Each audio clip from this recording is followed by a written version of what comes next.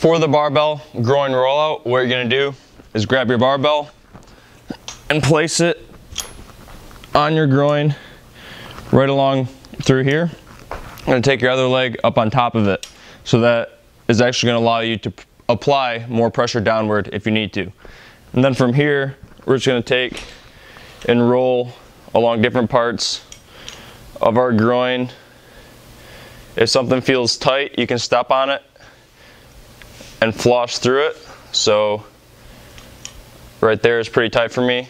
I'm gonna stay there with the barbell and floss through it, moving my knee into extension and then back into flexion.